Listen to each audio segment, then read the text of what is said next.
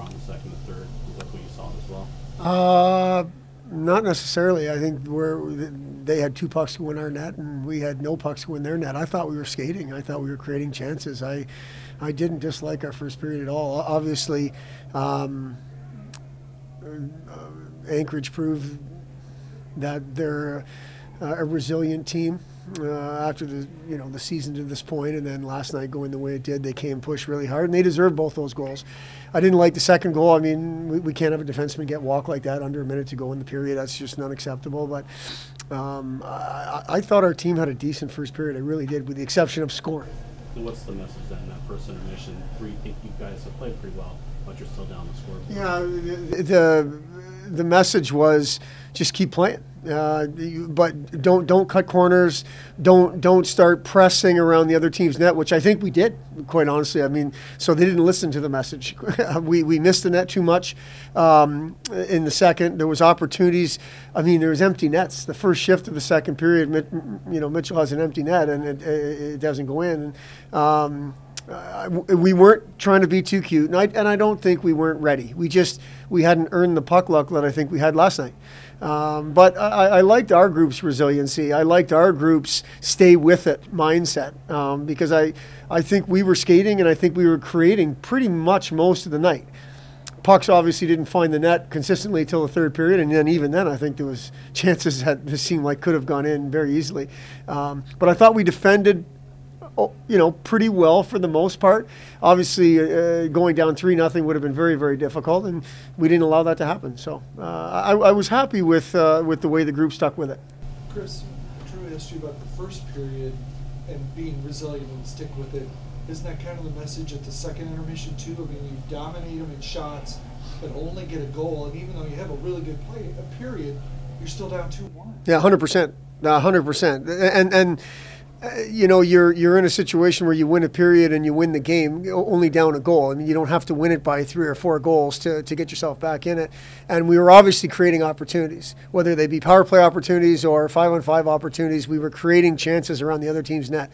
I just I uh, we weren't executing around the other team's net. We were missing the net too much. We were um, not hard enough on pucks, whatever it may be. Uh, but that it was definitely the same message, and and it was don't let yourself be denied tonight as a group. Just take that mindset that we're not going to be denied tonight and we're going to go win this thing, and that's what they did. Having said that, then, can you talk a little bit about the value of Max's goal, tying the game, giving you a power play goal yeah. you were 0 for 6? yeah. Just a lot of things. Yeah, I mean, I, I think we had some zone time, but I don't think we had big time chances. And, and Ty and Barry made a couple nice adjustments after the second period for that for that uh, that seventh power play. Um, and obviously, you know, Kruse and Max Johnson made made made a nice play there. Um, it was a huge goal. It was pretty early in the third, if I if I'm correct, uh, uh, just over a minute into the third. Uh, so right away, it's a tie game, and now it's it's a brand new ball game. We don't have to worry about pressing. We don't have to worry about you know gripping the stick too tight because we we, we need to tie it. We, we we had it tied. And then it was just a matter of keep pushing and, and, and go make something happen around their net, and um, we did that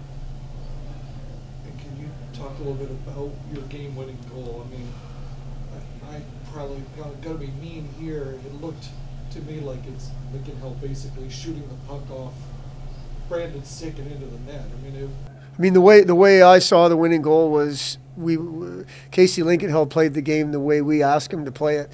He he chipped the puck past the defenseman. He skated past him, retrieved it, and then made a hockey play to Kruse, who I thought was ready and buried it. That's the way I saw it because it had to go over Mantha's glove, which it did.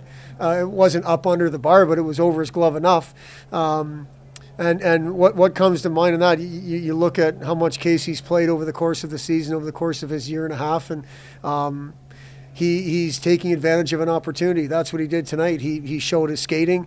He showed some confidence to be able to make that make that play. And I I was on Kruse yesterday. I don't think he was great. Um, he may have been on the score sheet, but I don't think he, he was as good as he can be. And tonight he was much better, um, and and good for him to get rewarded. So that's the way I saw the winning goal. I, I don't know what how Casey got the puck, but um, the way the way he handled it from when he got it to ending up in their net was exactly what we wanted to do. I'm sorry, saying I, I want to save myself a little bit because I don't mean to insult that goal. That's kind of a when you're doing things and creating chances and trying to make plays, you get rewarded. Yeah, hundred percent. That's the way I see it, and and um, that's what Casey did, and what we were what we were on the guys about after the second, and- after the first, and after the second was just be ready around the other team's net. There are going to be chances. There are going to be pucks that we have to bury, and I think that's what Kruse did. He was ready enough, and and uh, and got rewarded for being ready. And uh, how big was it to uh, outshoot him in uh, both the uh, games this weekend? Um, well, obviously, Zane, the more shots we get, the, the more opportunities we have to score goals. I still think tonight we missed the net way too much, and um, that's something we have to be better at. But um, I mean, it's big to outshoot a team for sure, but you, you ultimately need to outscore a team, and uh, we were able to do both. Talk about the Pohlkamp goal a little bit, coach, if you would. He's overcome a lot of adversity this year. Good to see him get his first goal. Yeah, um, I think when when uh, when Chris went down, it was a big blow. I mean, it, it, there are lots of reasons. A junior uh, in, inside the lineup looking out, and it, it really took a long time to get to get healed. And, and I thought when he came back, he was really good. Now it, it seems like he's he, at times he's fighting it a little bit, but it was nice to see nice to see him join the rush. And Kruse made a good play to him, and and and the puck found the back of the net, which it hadn't to that point of the game. So lots of reasons why that was a good goal for us.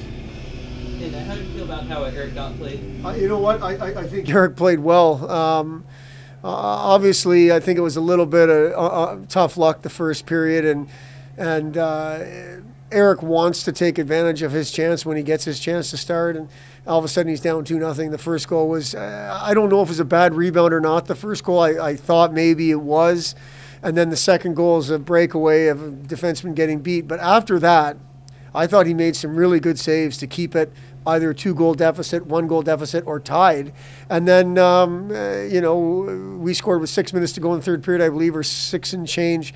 Uh, he was solid. I, I thought Eric was solid. Is, do you notice a palpable increased energy for guys playing in front of a crowd like that? Yeah, I mean, I, I thank you for bringing that up. Um, absolutely. How, how do you not?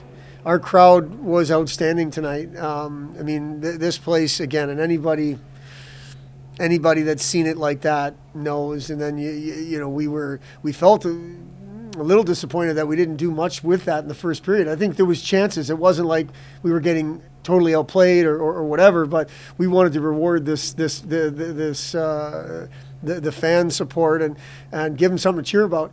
Um, but what a what a great crowd tonight! It was a good crowd all weekend. I thought last night's crowds were good, but tonight's crowd was outstanding.